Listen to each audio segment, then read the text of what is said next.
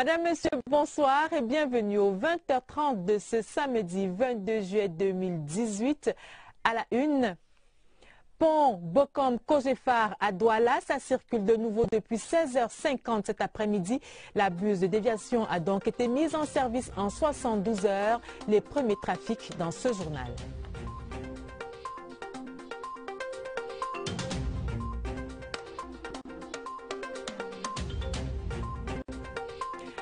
Et sécurité en République centrafricaine, 300 soldats camerounais prêts à servir. Ils viennent de suivre une formation de deux mois et sont en route pour le front sous la des Nations Unies pour la Centrafrique, MINUSCA. Salon international de l'action gouvernementale, les partenaires à l'honneur, une dizaine de prix ont été décernés à ceux qui accompagnent le mieux la septième édition du SAGO. Prix spécial à la CRTV Radio. Les détails dans ce journal.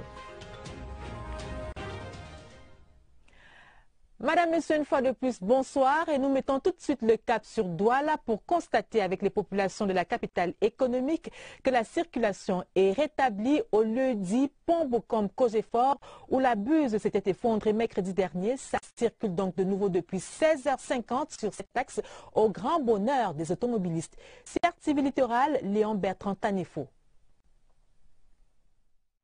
Le vent de la liberté qui souffle, les véhicules repartent à nouveau de Yassa vers le carrefour Ndokpassi en ligne directe. Après trois jours d'interruption, la circulation est de nouveau rétablie sur cet axe après l'effondrement de la bus au lieu du pont Bokom Kojefar.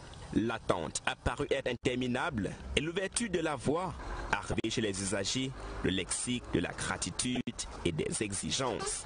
Je suis très ravie du fait que la route soit ouverte, les travaux ont été bien effectués. Nous disons encore merci au gouvernement d'avoir pensé à, à, refaire cette route. Nous sommes La route doit venir peut-être un problème, il y aura plus moins d'embouteillages et j'espère que nous serons vraiment contents. La livraison de cette voie de contournement, source de joie pour les usagers, est aussi un moment de soulagement pour les responsables en charge des travaux, eux qui ont œuvré de jour comme de nuit pour livrer cet ouvrage en 72 heures. L'ouvrage d'art en lui-même constitué de trois dalles renforcées avec une dalle de d'épaisseur 25 cm qui a été dimensionnée avec un ferrage pour supporter tout type de chasse routière tel que prévu par les caractéristiques. La chaussée également a été dimensionnée de la même manière constituée avec toutes les couches classiques de la route, c'est-à-dire une couche de fondation fait en poserante que nous avons fait à 30 cm, une couche de base en concassé 0,35 20 cm. Construction d'un dallo définitif d'ici le 15 septembre, tel que prescrit par le ministre des Travaux publics. Le calvaire aura duré 72 heures, mais grâce à une coordination impeccable des différentes parties prenantes et la promptitude des entreprises sur le site, ça roule entre Douala et Yaoundé et pour longtemps encore. Depuis Douala, Norbert Guéban, Alain Olivier Mbanda, Léon Bertrand Tanefo pour la CRTV. Merci Léon Bertrand. Dans la suite du journal, nous ouvrons la vase des installations des secrétaires généraux des ministères nommés récemment par le président de la République. Premier arrêt, ministère de l'enseignement supérieur. Le professeur Wilfried Nyombet Gapsa a été installé dans ses fonctions de secrétaire général de ce département ministériel par son chef, Jacques Famdongo, qui lui a prescrit l'esprit d'équipe. Eugène Bey, reportage. 55 ans bien sonnés, le professeur Nyongbet Gapsa Wilfried, le nouveau secrétaire général du ministère de l'enseignement supérieur, que le professeur Jacques Famdongo décore ici de la médaille de chevalier de l'Ordre national de la valeur, est un pur produit de l'université de Yaoundé, où il a fait ses études supérieures avant de s'envoler aux États-Unis d'Amérique. Professeur titulaire des universités, Nyongbet Gapsa Wilfried, avant sa nomination, a exercé plusieurs responsabilités au sein du ministère de l'Enseignement supérieur. Pendant 12 mois, il a assuré l'intérim de secrétaire général du dit ministère avant sa confirmation par un décret du chef de l'État le 20 juillet dernier. C'est donc à un fin connaisseur des arcanes de l'enseignement supérieur que le chef de l'État vient de promouvoir. Le professeur Jacques Famdongo a promis apporter tout le soutien nécessaire à son principal collaborateur, à qui il demande de travailler en se plaçant au-dessus de toutes sortes de clans. Une forte élite des régions du nord-ouest et du sud-ouest a pris part Au ministère des Travaux publics, c'est Urbain Noël et Bambé qui occupe désormais les fonctions de secrétaire général. Au nouveau promu, le chef du département Emmanuel du Messi au cours de la cérémonie d'installation, prescrit inventivité, inventivité et probité dans l'accomplissement de ses tâches. Rodrigue Bertrand Twin, reportage. Le ministère des Travaux publics a sorti le tapis rouge pour accueillir son nouveau secrétaire général. L'acte de nomination a d'abord été lu avant la montée au créneau du chef de département pour le rituel d'installation. L'intérimaire a été félicité pour avoir gardé le poste pendant un peu plus d'un an. Le ministre Nganou Djoumessi a présenté l'entrant comme un haut fonctionnaire intellectuel accompli et jouissant d'une longue expérience accumulée au sein de différentes administrations. Expérience qu'il a souhaité qu'il mette au service des ministères des Travaux publics où sa tâche est immense. Message bien reçu. Les défis sont nombreux, les chantiers abondants. On me l'a bien dit, je vais me mettre au travail pour euh, exercer sous l'autorité des deux ministres le ministre et le secrétaire d'État. Donc, j'entre dans une équipe dynamique, je vais apporter ma modeste contribution. La cérémonie était fort courue. Quelques membres du gouvernement, de nombreux hauts commis de l'État côtoyaient membres de la famille et membres de groupements professionnels. Mais le nouveau secrétaire général sera le seul à démontrer que celui qui lui a fait confiance avait vu juste. Lutter contre la contrebande et réduire les importations frauduleuses à leur portion la plus congrue, ce sont les défis actuels du ministère du Commerce. Et le nouveau secrétaire général, Malaki Maraouda, est appelé à apporter sa touche dans ces combats. Mandat lui a été donné par son chef, Luc Magloire Mbargatangana, au cours de la cérémonie d'installation. José Gaëtan Tchanga, reportage. Malachi Manaouda est désormais installé comme secrétaire général du ministère du Commerce. L'administrateur civil principal, diplômé de l'ENAM promotion 1998-2000, remplace Achille Bassili Kentois appelé à d'autres fonctions. Évidemment, comme euh, toute personne qui a bénéficié, n'est-ce pas, de la très haute confiance du chef de l'État, je suis très fier, très fier d'être ici parce que euh, nous avons été très bien accueillis également par le ministre du Commerce. Et nous voulons prendre solennellement ici l'engagement de la compagnie dans ces délicates missions qui lui a été confiées par le chef de l'État. L'homme était jusqu'alors secrétaire général du ministère de l'eau et de l'énergie. Après une riche carrière passée à la présidente de la République, où il a prêté ses services à la division des affaires organiques. Il devra désormais coordonner l'action des services de l'administration centrale et des services déconcentrés du ministère du Commerce, définir et codifier les procédures internes au ministère du Commerce, entre autres missions à lui assignées. Retour dans le littoral, projet de mise en place de la Société métropolitaine d'investissement de Douala Smith. Après trois mois de campagne, plus de 5 milliards de francs CFA enregistrés, ce qui représente 54% des souscriptions. Le bilan a été dressé récemment dans la capitale économique. C'était au cours d'une cérémonie présidée par le délégué du gouvernement auprès de la communauté urbaine de Douala, Fritz Antonin Daoud Moulium de Certi Littoral pour les détails. 5 milliards 414 millions 790 000 francs CFA. C'est la valeur totale des souscriptions enregistrées pour le projet de mise en place de la Société métropolitaine d'investissement de Douala, SMID. Ce montant représente les 54% des 10 milliards de francs CFA escomptés à l'ouverture de la campagne de souscription qui livre ainsi ses premiers résultats. Au total, 2353 bulletins de souscription ont été déposés pour l'achat de 541 479 actions à raison de 10 000 francs chacune. Ces chiffres sont de EDC Investment Corporation, chef de file de l'opération d'appel public à l'épargne en vue de la constitution du capital de la SMID. Opération arrivée à son terme le 5 juillet dernier, après environ trois mois de campagne. Des vérifications effectuées par la commission de dépouillement le 11 juillet dernier, il ressort que 82 reportings ont été enregistrés dans les trois banques partenaires et en charge de la collecte des fonds, soit un total de 127 006 titres raflés par les personnes physiques contre 414 473 pour les personnes morales. 2227 souscriptions ont été émises du Cameroun contre 40 enregistrées hors des frontières nationales. Des chiffres qui ont permis l'allocation des titres selon le statut de la société et la structure du capital collecté. Dans la région du Nord-Ouest, si le respect de l'état de droit, la tolérance et autres principes du Commonwealth étaient la solution pour un retour au calme, le club de gentlemen y croit en tout cas. L'organisation représentée par Félix Mbagnou, le ministre délégué chargé du Commonwealth aux relations extérieures, est allé passer le message aux jeunes de la région. L'essentiel à retenir avec Adrien Takoufou à Bamenda nord-ouest passe par une crise sociopolitique qui met en mal son vivre ensemble et sa paix. C'est pour amener les jeunes à intégrer davantage les valeurs et principes fondamentaux du Commonwealth que le ministère des Relations extérieures organise cette campagne nationale à Bamenda. Tout enfant né dans cette région commence par être très respectueux et on est inculque l'esprit de travail et de travail bien fait. Nous avons peur que les enfants commencent à oublier ces valeurs. Voilà pourquoi nous sommes venus renforcer ces fondements en les rappelant les principes et les valeurs traditionnelles et culturelles de la région qui, pour beaucoup, ressemblent aux valeurs et principes du Commonwealth.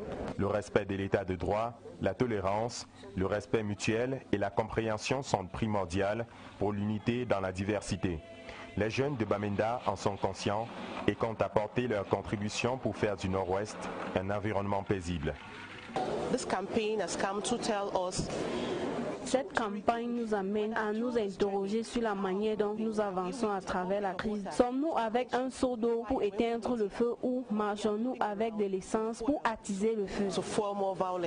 Dans une société où les jeunes sont souvent instrumentalisés et intimidés par des ennemis de la paix, le ministre délégué au ministère des Relations extérieures en charge de la coopération avec le Commonwealth les a également invités à se présenter comme des leaders d'aujourd'hui. Le gouvernement accueille favorablement l'initiative de certains leaders religieux en faveur de la paix dans les régions du nord-ouest et du sud-ouest. Cette position a été rendue publique hier au cours du journal télévisé de 20h30 de la CRTV par le ministre de la Communication, Issa Chiroma Bakari, qui en était l'invité. Retour sur les aspects saillants de cette intervention avec Rodrigue Bertrand. nous C'est sur le plateau du 20h30 de la mer des chaînes de télévision au Cameroun que le ministre de la Communication, porte-parole du gouvernement, a livré la position de ce dernier par rapport à l'initiative de certains leaders religieux en phase avec la crise sociopolitique dans les régions du sud-ouest et du nord-ouest. Primo, la recherche d'une solution est un souci partagé. Toute initiative, d'où qu'elle vient, pourvu qu'elle contribue à consolider la paix, à restaurer la paix sur l'ensemble du territoire, là où cette dernière serait menacée. Toute initiative qui concourt à consolider l'héritage que les pères fondateurs de notre nation nous ont légué est la bienvenue. Segundo, il a opposé une fin de non-recevoir à la volonté de mettre l'armée de la nation au même pied d'égalité que des groupes sécessionnistes. On ne peut pas mettre une telle armée qui aujourd'hui se déploie et se bat pour la protection de l'intégrité territoriale de notre nation, la mettre au même niveau que des bandes armées, des terroristes qui tuent, qui égorgent, qui décapitent, qui brûlent des écoles. S'agissant de ceux des terroristes qui répondent de leur forfait devant la loi, le processus doit se poursuivre.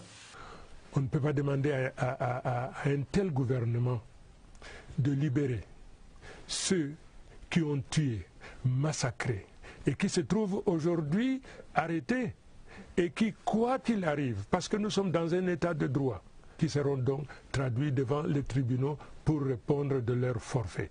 Le ministre de la Communication a apprécié l'effort financier du chef de l'État en faveur de ses compatriotes du sud-ouest et du nord-ouest. Le Cameroun se positionne de plus en plus comme contributeur dans les opérations de maintien de la paix, d'abord à travers l'École internationale des forces de sécurité de Hawaï, les forces qui vient d'ailleurs de former des hommes en tenue à la prévention des abus sexuels dans les zones de conflit, mais aussi à travers la mise à disposition des soldats dans les opérations de maintien de la paix. Un quatrième contingent de 300 soldats est en route pour la RCA sous la bannière de la MINUSCA, mission intégrée multidimensionnelle des Nations Unies pour la Centrafrique. Pierre Evembe nous en dit plus. Ces 295 personnels la gendarmerie et 4 médecins sont prêts pour leur déploiement à la MINUSCA, la mission intégrée multidimensionnelle des Nations Unies pour la stabilisation en Centrafrique. Ces deux unités de police constituées ont subi un stage de prédéploiement par cinq experts américains et 18 formateurs camerounais. Mais avant leur départ, le général de brigade Lokobi Dalen Jok leur a transmis les consignes du commandement. Soyez donc digne de la haute confiance placée en vous par votre pays, le Cameroun. Le commandement tiendra ses engagements envers vous et en retour. Il aura la main particulièrement lourde sur tous les cas de malversation, d'indiscipline, d'abus et d'exploitation de biens ou de populations locales portées à sa connaissance. Ils vont en mission dans un contexte marqué par des expositions aux exploitations et abus sexuels, des violations décriées dans la plupart des missions de paix et que devront combattre par tous les moyens ces séminaristes de l'EIFOS, prévenir, sensibiliser, informer des compétences acquises par ces cadres d'administration publique et forces de sécurité du Cameroun et des cinq autres pays de la centrale. Pouvoir sensibiliser déjà les populations locales entre elles, la sensibilisation des hommes en tenue qui sont là pour leur protection. Cette formation tombe à pic parce que là nous sommes dans le cadre de l'élaboration de la stratégie nationale de la communication pour le développement. Le directeur général de l'EIFOS, le général de brigade André Patrice Bitoté, a salué la coopération avec le Japon, venu en appui dans cette formation qui donne un cachet international et référentiel à cette auguste institution camerounaise. En politique, une publication qui, arrive à point nommé, renouveler la confiance à Paul Biya, des argumentaires qui font de lui le meilleur candidat à la prochaine élection présidentielle. Titre du livre de Faustin Bala, l'auteur a récemment présenté son ouvrage. C'était au cours d'une cérémonie de dédicace relevée par la présence du professeur Luc Sinjun, conseiller spécial à la présidence de la République et représentant personnel du chef de l'État.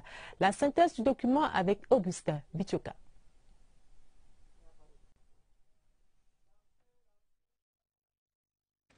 C'est un public acquis pour la victoire du candidat naturel du RDPC à la prochaine élection présidentielle qui s'est donné rendez-vous pour cette cérémonie de dédicace du livre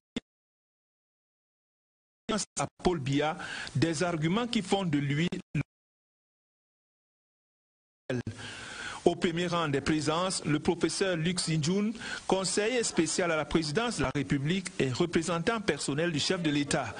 L'anneau de lecture est présenté par le vice-recteur de l'Université de Tcham, le professeur Edmond Billois. L'auteur Faustin Bala s'adresse à l'assistance et justifie les raisons de son appel de tous en faveur de la candidature du Pôle Via le 7 octobre prochain.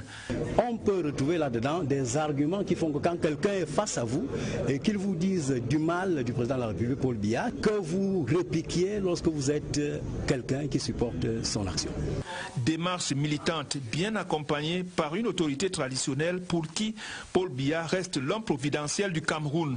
Le président Paul Biya reste le meilleur candidat à cette élection 2018, le 7 octobre.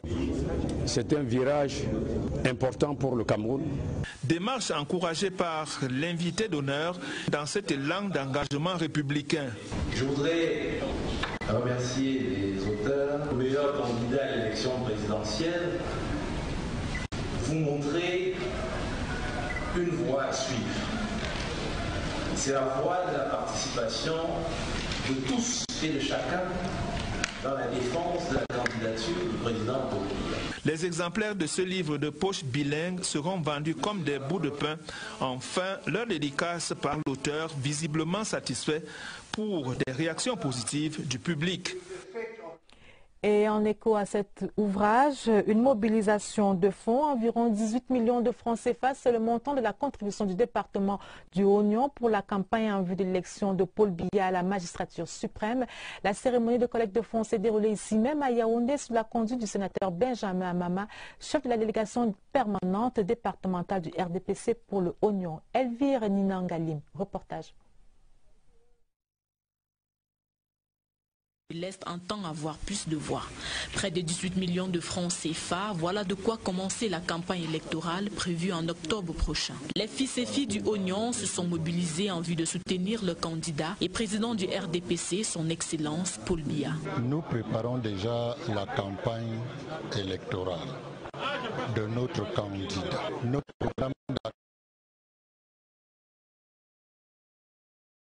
Dispositions avec la collecte des fonds de ce jour. Toutes les dispositions ont été prises pour que nous puissions organiser une excellente campagne électorale dans le département du Hougnou. La collecte des fonds des militants et militantes de ce parti va se poursuivre jusqu'au 22 septembre prochain avec pour objectif principal d'atteindre une collecte de fonds estimée à 67 millions de francs CFA. La campagne électorale en vue de la présidentielle n'est certes pas encore lancée, mais le MRC mène déjà des opérations de charme sur le terrain. Après l'escale du Nord et de l'extrême Nord, Maurice Camto, le président de cette formation politique, a récemment pris langue avec ses camarades en Gaoundéré dans la Damawa. Message délivré dans ce reportage de Saïd Mohamedou de CRTV à Damawa.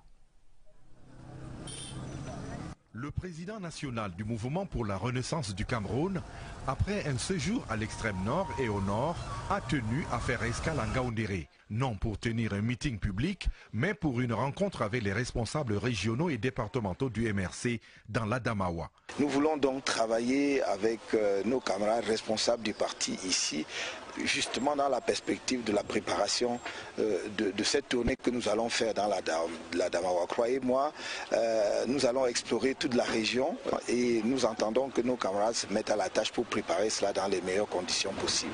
Le candidat du MRC à l'élection présidentielle a aussi profité de ces assises pour glisser un message aux populations de l'Adamawa. En attendant évidemment l'ouverture de la période officielle de la campagne électorale, les populations camerounaises doivent être mobilisées parce que nous avons, en cette élection présidentielle de, l'année 2018, une occasion historique exceptionnelle et d'apporter le changement dans notre pays par les urnes. Cette visite est un regain de motivation pour les militants du MRC. Le président de la fédération régionale du MRC pour la Damawa entend, à travers la visite du président national, porter loin les aspirations de son parti médias s'apprêtent à jouer leur partition dans le processus électoral. Deuxième jour du séminaire d'appropriation de la couverture médiatique de la présidentielle par la CRTV. Au menu ce samedi, les travaux en atelier avec pour objectif principal la mise au point de stratégies innovantes pour la CRTV, soucieuse de conserver sa place de leader dans le paysage médiatique camerounais. Le point avec Cyril Kemené de CRTV Sud. Les participants au séminaire d'appropriation du plan de couverture de la présidentielle du 7 octobre prochain par la CRTV ont résolument le cœur à l'ouvrage. Leur concentration n'a d'égal que les enjeux de ce scrutin pour la nation. fixer le cap à l'ouverture de ce séminaire. Premièrement, informer le citoyen de la manière la plus large et la plus complète possible pour lui permettre d'opérer son choix en toute connaissance de cause. Deuxièmement, rendre compte de ce qui a été l'action du président de la République et du gouvernement lors de la mandature qui s'achève afin de donner aux électeurs tous les éléments d'évaluation et les outils de discernement pour mieux projeter leur choix. Le contexte du scrutin attendu étant différent de tous les autres à plus d'un titre, l'esprit d'innovation et d'imagination à toute épreuve est requis. Charles Ndongo invite tous les personnels de la CRTV impliqués dans la couverture médiatique de la présidentielle à sortir des sentiers battus, oublier les vieux schémas, étonner le public, imaginer des formats originaux, faire preuve de maturité mais aussi de spontanéité en mots simples, il s'agit de donner à nos antennes une allure et une dynamique jamais vues lors d'un scrutin présidentiel. Les orientations données par le patron de la CRTV ont valeur de boussole et de ligne de conduite. Au sortir de ces travaux, nous finalisons notre plan et nous le rendons véritablement opérationnel. Nous pouvons dire aujourd'hui qu'en termes de couverture médiatique, nous sommes prêts parce que nous avons fait le travail nécessaire ici à Ebova. Chaque région a voix au chapitre au cours des débats denses qui se déroulent en atelier. Les régions ont été entendues.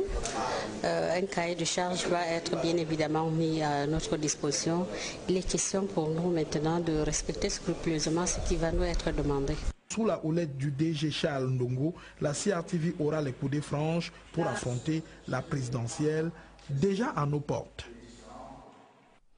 Les normes et la sécurité dans le secteur du tourisme, le sujet a meublé la troisième édition du Salon international du tourisme durable. C'était à l'esplanade du stade Omnisport ici à Yaoundé. Le secrétaire général du ministère du Tourisme et des Loisirs, Angéline Florence Ngona, a apporté l'onction de la tutelle à ce salon. À sa suite, Alvin Dizelze. Reportage.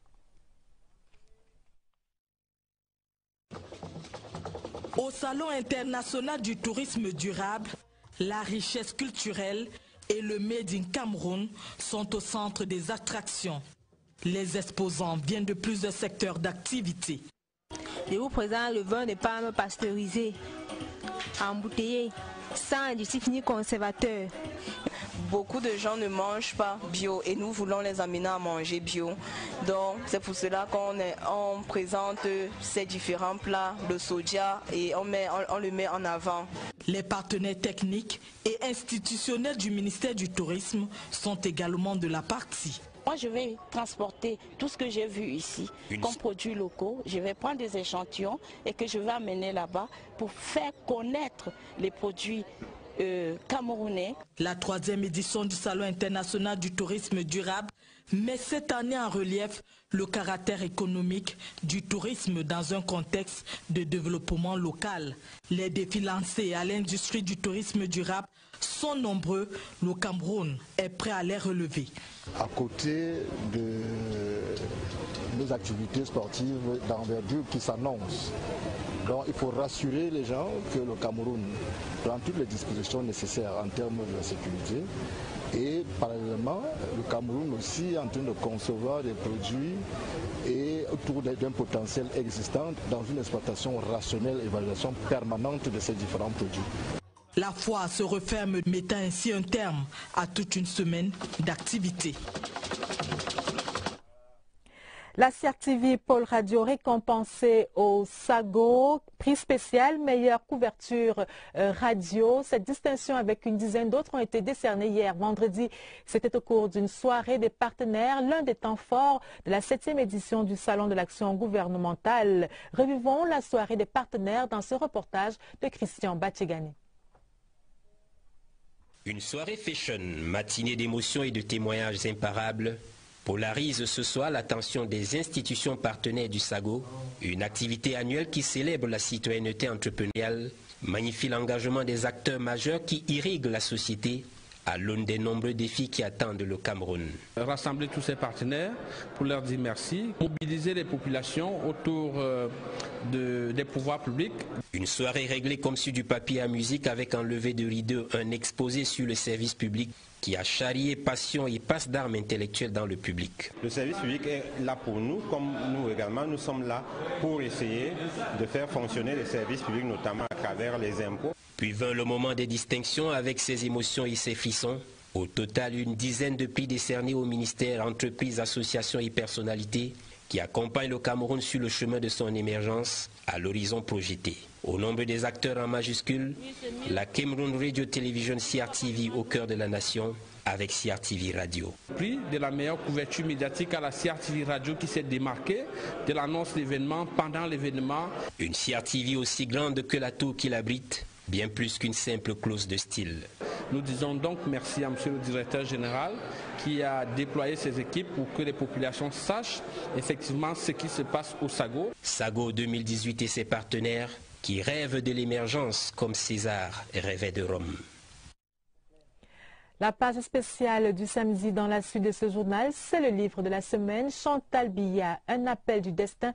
C'est un essai biographique qui revisite la trajectoire humanitaire d'une dame d'exception, l'épouse du chef de l'État. L'auteur Aurélien Magloire Ayama nous parle de Chantal Biya dans cet ouvrage de 125 pages. La note de lecture est signée Napoléon Bonaparte Besson. Chantal Biya, un appel du destin met en lumière l'exceptionnelle trajectoire d'une éminente, ou plutôt d'une première dame dévouée aux causes orphelines d'ici et d'ailleurs. Une vingtaine d'années qu'elle côtoie le palais de l'unité, la somptueuse résidence présidentielle. Cette cime des cieux qui ne l'empêche, mais bien au contraire, de s'apitoyer sur le sort des déshérités sans frontières d'âge, sans discrimination de sexe ou d'appartenance tribale et religieuse et sans limite intercontinentale. La dame de cœur d'une générosité incommensurable et sans borne offre au présent, au passé comme à la postérité des dons aussi précieux que son éternel sourire. L'essai biographique que nous propose Aurélien Magloire Ayama plonge le lecteur dans le vécu réel de cette légende vivante depuis sa tendre enfance jusqu'au jour où la destinée franchit la terre promise, notamment l'idéale rencontre avec son illustre époux. À ce premier récit détaillé avec une précision chirurgicale et une exactitude mathématique, se greffe une autre narration qui cerne les contours de leur vie de couple depuis l'étape officielle du « Je t'aime moi non plus ». L'ouvrage de 125 pages renseigne à suffit le lecteur sur les murmures, les secrets et les échos du palais de Toudi entre les deux principaux occupants, Paul et Chantal Biya,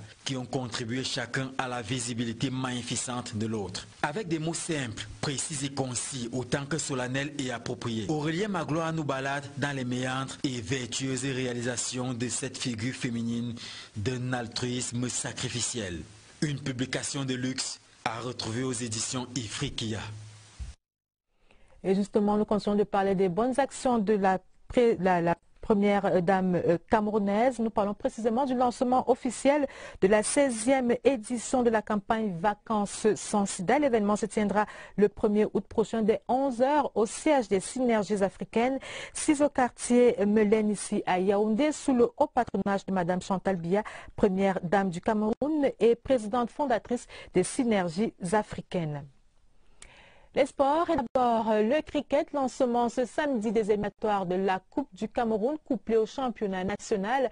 22 équipes dames et messieurs sont en compétition et puis le football. Laurette Elanga a fait ses adieux à sa carrière de footballeuse ce samedi. L'enseignant indomptable, double médaillé de bronze en Coupe d'Afrique des Nations, a joué son dernier match lors du jubilé organisé ici à Yaoundé. Evariste Yenga nous en dit plus.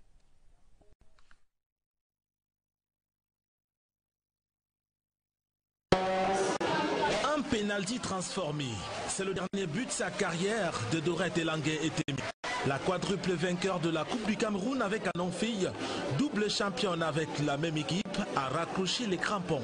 Son jubilé est source d'inspiration pour les jeunes générations mes jeunes sœurs qui sont là voient, découvrent mon parcours. Je pense que j'espère être un exemple. Dorette Languet est l'une des premières joueuses professionnelles ayant prospéré à l'international. Cette ancienne championne de France, division 2 avec Marseille, a stoppé sa carrière sous les couleurs du Paris Saint-Germain en France. L'entraîneur de football FIFA d'aujourd'hui souhaiterait servir le football camerounais dans sa conversion. Moi, ma place aujourd'hui, c'est de dire que j'ai appris ça en Europe, j'ai envie de transmettre. Après, au niveau local, au niveau national, au niveau international, il y a des détections à faire en Europe. La balle et la batte de cricket mettent aux prises 12 équipes messieurs et 10 chez les dames dès ce samedi.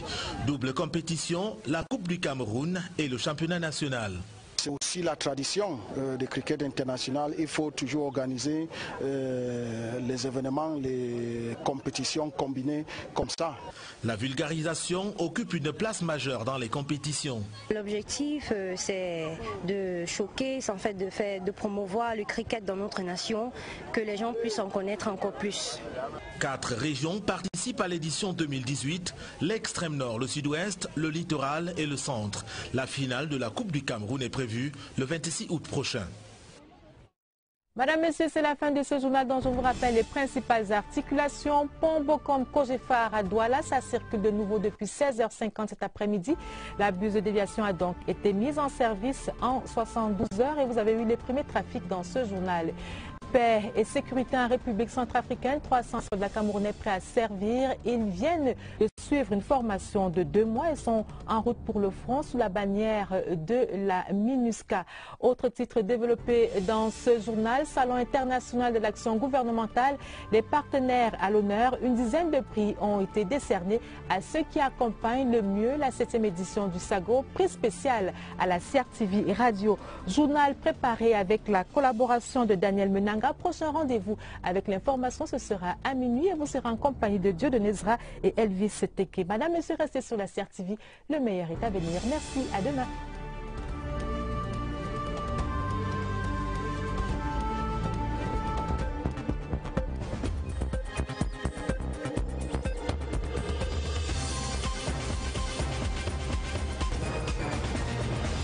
Confiance à Paul Biya, des argumentaires qui font de lui le meilleur candidat à la prochaine élection présidentielle. Titre du livre de Faustin Bala, l'auteur a récemment présenté son ouvrage. C'était au cours d'une cérémonie de dédicace relevée par la présence du professeur Luc Sinjun, conseiller spécial à la présidence de la République et représentant personnel du chef de l'État.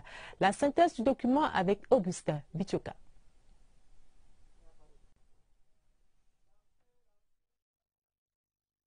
C'est un public acquis pour la victoire du candidat naturel du RDPC à la prochaine élection présidentielle qui s'est donné rendez-vous pour cette cérémonie de dédicace du livre à Paul Biya, des arguments qui font de lui au premier rang des présences, le professeur Luc Zinjoun, conseiller spécial à la présidence de la République et représentant personnel du chef de l'État.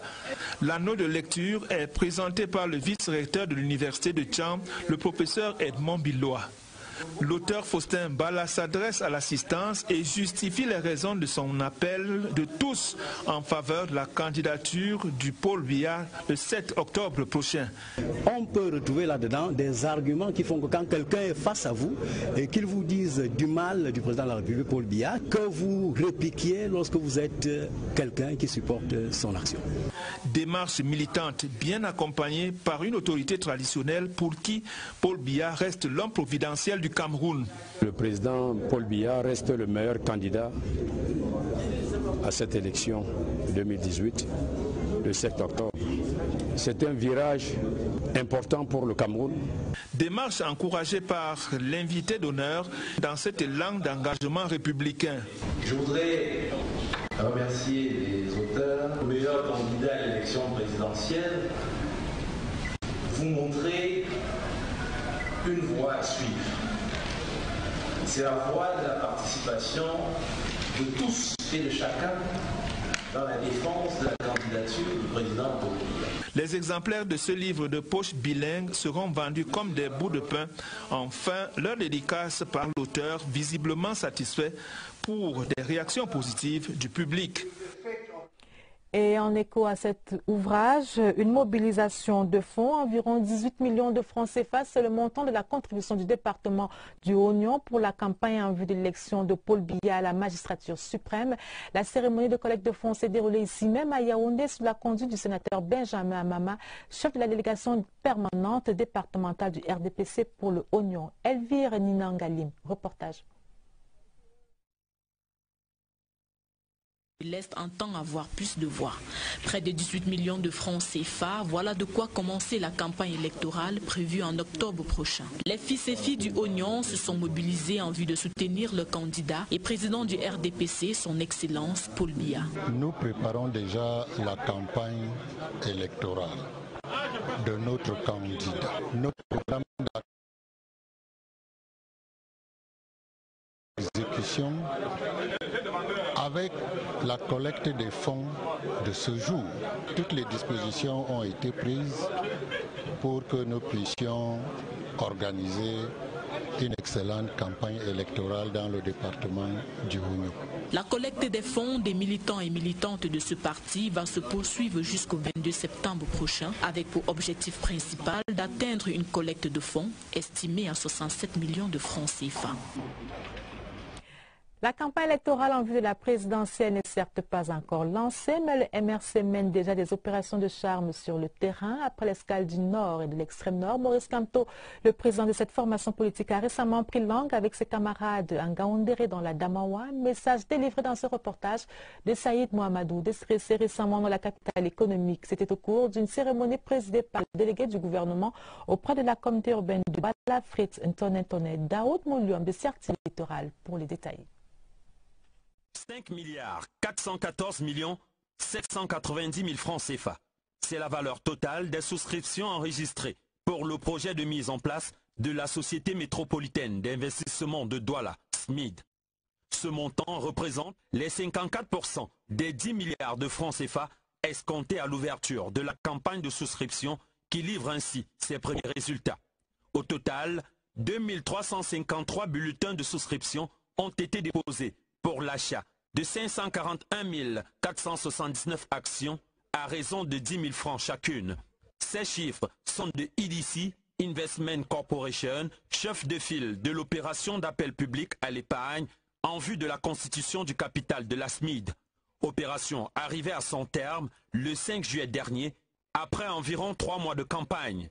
Des vérifications effectuées par la commission de dépouillement le 11 juillet dernier, il ressort que 82 reportings ont été enregistrés dans les trois banques partenaires et en charge de la collecte des fonds, soit un total de 127 006 titres raflés par les personnes physiques contre 414 473 pour les personnes morales. 2227 souscriptions ont été émises du Cameroun contre 40 enregistrées hors des frontières nationales. Des chiffres qui ont permis l'allocation des titres selon le statut de la société et la structure du capital collecté. Dans la région du Nord-Ouest, si le respect de l'état de droit, la tolérance et autres principes du Commonwealth étaient la solution pour un retour au calme, le club de gentlemen y croit en tout cas. L'organisation représentée par Félix Mbagnou, le ministre délégué chargé du Commonwealth aux relations extérieures, est allé passer le message aux jeunes de la région. L'essentiel à retenir avec Adrien Takoufou à Bamenda Nord-Ouest passe par une crise sociopolitique qui met en mal son vivre ensemble et sa paix. C'est pour amener les jeunes à intégrer davantage les valeurs et principes fondamentaux du Commonwealth que le ministère des Relations extérieures organise cette campagne nationale à Bamenda. Tout enfant né dans cette région commence par être très respectueux et on est inculque l'esprit de travail et de travail bien fait. Nous avons peur que les enfants commencent à oublier ces valeurs. Voilà pourquoi nous sommes venus renforcer ces fondements en les rappelant les principes et les valeurs traditionnelles et culturelles de la région qui, pour beaucoup, ressemblent aux valeurs et principes du Commonwealth. Le respect de l'état de droit, la tolérance, le respect mutuel et la compréhension sont primordiales pour l'unité dans la diversité. Les jeunes de Bamenda en sont conscients et comptent apporter leur contribution pour faire du Nord-Ouest un environnement paisible. Cette campagne nous amène à nous interroger sur la manière dont nous avançons à travers la crise. Sommes-nous avec un seau d'eau pour éteindre le feu ou marchons-nous avec de l'essence pour attiser le feu? Dans une société où les jeunes sont souvent instrumentalisés et intimidés par des ennemis de la paix, le ministre délégué au ministère des Relations extérieures en charge de la coopération avec le Commonwealth les a également invités à se présenter comme des leaders d'aujourd'hui.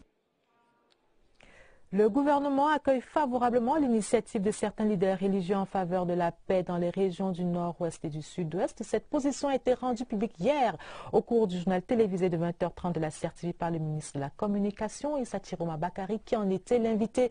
Retour sur les aspects saillants de cette intervention avec Rodrigue Bertrand. C'est sur le plateau du 20h30 de la mer des chaînes de télévision au Cameroun que le ministre de la Communication est un pur produit de l'université de Yaoundé, où il a fait ses études supérieures avant de s'envoler aux États-Unis d'Amérique. Professeur titulaire des universités, Nyongbet Gapsa Wilfried, avant sa nomination, a exercé plusieurs responsabilités au sein du ministère de l'Enseignement supérieur. Pendant 12 mois, il a assuré l'intérim de secrétaire général du dit ministère avant sa confirmation par un décret du chef de l'État le 20 juillet dernier. C'est donc à un fin connaisseur des arcanes de l'enseignement supérieur que le chef de l'État vient de promouvoir. Le professeur Jacques Famdongo a promis apporter tout le soutien nécessaire à son principal collaborateur à qui il demande de travailler en se plaçant au-dessus de toutes sortes de clans. Une forte élite des régions du nord-ouest et du sud-ouest a pris part Au ministère des Travaux publics, c'est Urbain Noël et Bambé qui occupent désormais les fonctions de secrétaire général. Au nouveau promu, le chef du département Emmanuel Ngam du Messi au cours de la cérémonie d'installation, prescrit inventivité, et probité dans l'accomplissement de ses tâches. Rodrigue Bertrand reportage. Le ministère des Travaux publics a sorti le tapis rouge pour accueillir son nouveau secrétaire général. L'acte de nomination a d'abord été lu avant la montée au créneau du chef de département pour le rituel d'installation. L'intérimaire a été félicité pour avoir gardé le poste pendant un peu plus d'un an. le ministre Nganou Djoumessi a présenté l'entrant comme un haut fonctionnaire intellectuel accompli et jouissant d'une longue expérience accumulée au sein de différentes administrations. Expérience qu'il a souhaité qu'il mette au service des ministères des Travaux publics où sa tâche est immense. Message bien reçu. Les défis sont nombreux, les chantiers abondants. On me l'a bien dit. Je vais me mettre au travail pour euh, exercer sous l'autorité des deux ministres le ministre et le secrétaire d'État. Donc, j'entre dans une équipe dynamique, je vais apporter ma modeste contribution. La cérémonie était fort courue. Quelques membres du gouvernement, de nombreux hauts commis de l'État côtoyaient membres de la famille et membres de groupements professionnels. Mais le nouveau secrétaire général sera le seul à démontrer que celui qui lui a fait confiance avait vu juste. Lutter contre la contrebande et réduire les importations frauduleuses à leur portion la plus congrue, ce sont les défis actuels du ministère du Commerce. Et le nouveau secrétaire général, Malaki Maraouda, est appelé à apporter sa touche dans ces combats. Mandat lui a été donné par son chef Luc Magloire Mbarga Tangana au cours de la cérémonie d'installation. José Gaëtan Tchanga, reportage. Malachi Manaouda est désormais installé comme secrétaire général du ministère du Commerce. L'administrateur civil principal, diplômé de l'ENAM promotion 1998-2000, remplace Achille Bassili Kentois appelé à d'autres fonctions. Évidemment, comme euh, toute personne qui a bénéficié, n'est-ce pas, de la très haute confiance du chef de l'État, je suis très fier, très fier d'être ici parce que euh, nous avons été très bien accueillis également par le ministre du Commerce. Et nous voulons prendre solennellement ici l'engagement de la compagnie dans ces délicates missions qui lui a été confiées par le chef de l'État. L'homme était jusqu'alors secrétaire général du ministère de l'eau et de l'énergie. Après une riche carrière passée à la présidente de la République, où il a prêté ses services à la division des affaires organiques. Il devra désormais coordonner l'action des services de l'administration centrale et des services déconcentrés du ministère du Commerce, définir et codifier les procédures internes au ministère du Commerce, entre autres missions à lui assignées. Retour dans le littoral, projet de mise en place de la Société métropolitaine d'investissement de Douala-Smith.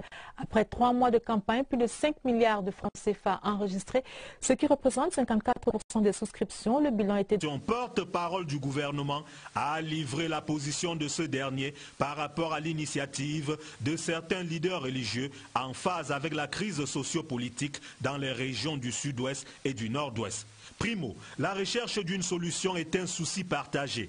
Toute initiative, d'où qu'elle vient, pourvu qu'elle contribue à consolider la paix, à restaurer la paix sur l'ensemble du territoire, là où cette dernière serait menacée, toute initiative qui concourt à consolider l'héritage que les pères fondateurs de notre nation nous ont légué est la bienvenue. Secondo, il a opposé une fin de non-recevoir à la volonté de mettre l'armée de la nation au même pied d'égalité que des groupes sécessionnistes. On ne peut pas mettre une telle armée qui aujourd'hui se déploie et se bat pour la protection de l'intégrité territoriale de notre nation, la mettre au même niveau que des bandes armées, des terroristes qui tuent, qui égorgent, qui décapitent, qui brûlent des écoles. S'agissant de ceux des terroristes qui répondent de leur forfait devant la loi, le processus doit se poursuivre.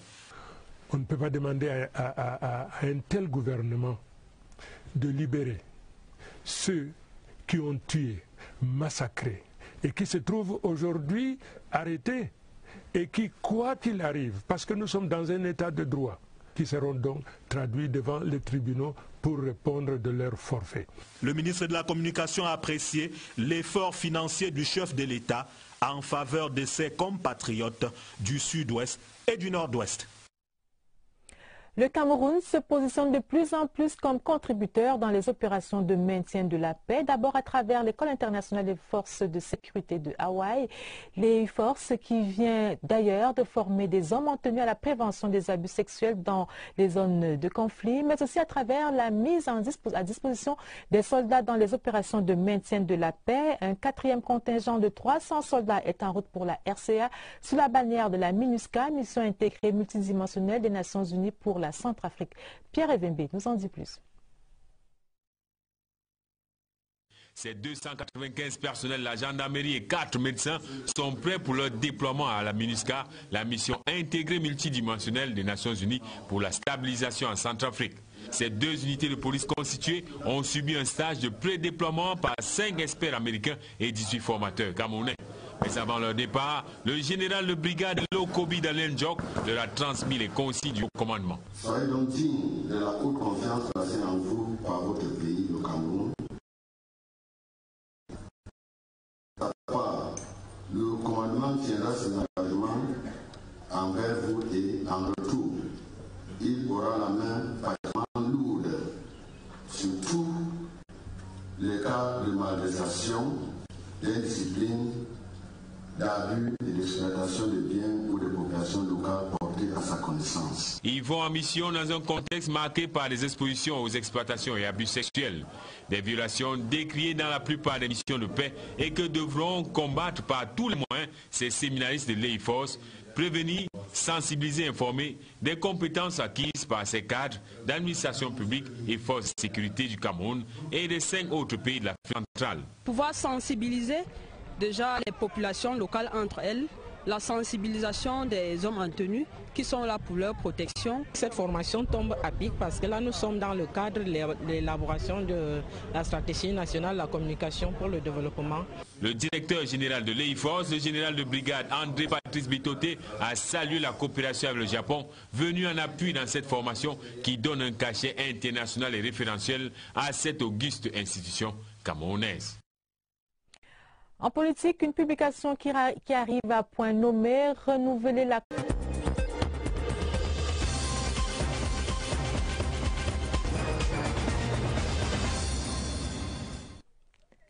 Madame, Monsieur, bonsoir et bienvenue au 20h30 de ce samedi 22 juillet 2018 à la une. Pont Bokom Kojefar à Douala, ça circule de nouveau depuis 16h50 cet après-midi. La buse de déviation a donc été mise en service en 72 heures. Les premiers trafics dans ce journal.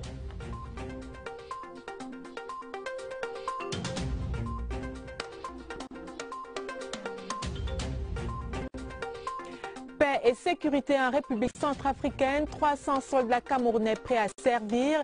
Ils viennent de suivre une formation de deux mois et sont en route pour le front sous la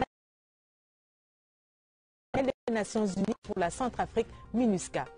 Salon international de l'action gouvernementale, les partenaires à l'honneur, une dizaine de prix ont été décernés à ceux qui accompagnent le mieux la septième édition du SAGO. Prix spécial à la CRTV Radio. Les détails dans ce journal. Madame, Monsieur, une fois de plus, bonsoir et nous mettons tout de suite le cap sur Douala pour constater avec les populations de la capitale économique que la circulation est rétablie au lieu-dit pont Bocom Cogefort où la buse s'était effondrée mercredi dernier. Ça circule donc de nouveau depuis 16h50 sur cet axe au grand bonheur des automobilistes. CRTV Littoral, Léon Bertrand Tanefo. Tel le vent de la liberté qui souffle, les véhicules repartent à nouveau de Yassa vers le carrefour Passy en ligne directe. Après trois jours d'interruption, la circulation est de nouveau rétablie sur cet axe après l'effondrement de la bus au lieu pont comme Kojefar. L'attente a paru être interminable et l'ouverture de la voie a réveillé chez les usagers le lexique de la gratitude et des exigences. Je suis très ravie du fait que la route soit ouverte, les travaux ont été bien effectués. Nous disons encore merci au gouvernement d'avoir pensé à, refaire cette route. Nous sommes très satisfaits.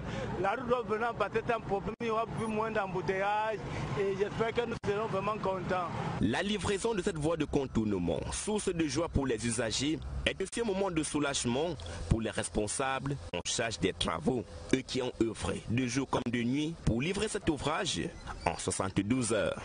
L'ouvrage d'art en lui-même constitué de trois dalles renforcées avec une dalle d'épaisseur 25 cm qui a été dimensionnée avec un ferrage pour supporter tout type de chasse routière tel que prévu par les caractéristiques. La chaussée également a été dimensionnée de la même manière, constituée avec toutes les couches classiques de la route, c'est-à-dire une couche de fondation fait en poserante que nous avons fait à 30 cm, une couche de base en concassé 0,35 20 cm d'un dallo définitif d'ici le 15 septembre, tel que prescrit par le ministre des Travaux publics. Le calvaire aura duré 72 heures, mais grâce à une coordination impeccable des différentes parties prenantes et la promptitude des entreprises sur le site, ça roule entre Douala et Yaoundé et pour longtemps encore. Depuis Douala, Norbert Guéban, Alain Olivier Mbanda, Léon Bertrand Tanefo pour la CRTV. Merci Léon Bertrand. Dans la suite du journal, nous ouvrons la vase des installations des secrétaires généraux des ministères nommés récemment par le président de la République. Premier arrêt, ministère de l'enseignement supérieur. Le professeur Wilfried Nyombet Gapsa a été installé dans ses fonctions de secrétaire général de ce département ministériel par son chef, Jacques Famdongo, qui lui a prescrit l'esprit d'équipe. Eugène Bey, reportage. 55 ans bien sonnés, le professeur Nyongbet Gapsa Wilfried, le nouveau secrétaire général du ministère de l'enseignement supérieur, que le professeur Jacques Famdongo décore ici de la médaille de chevalier de l'ordre national de la valeur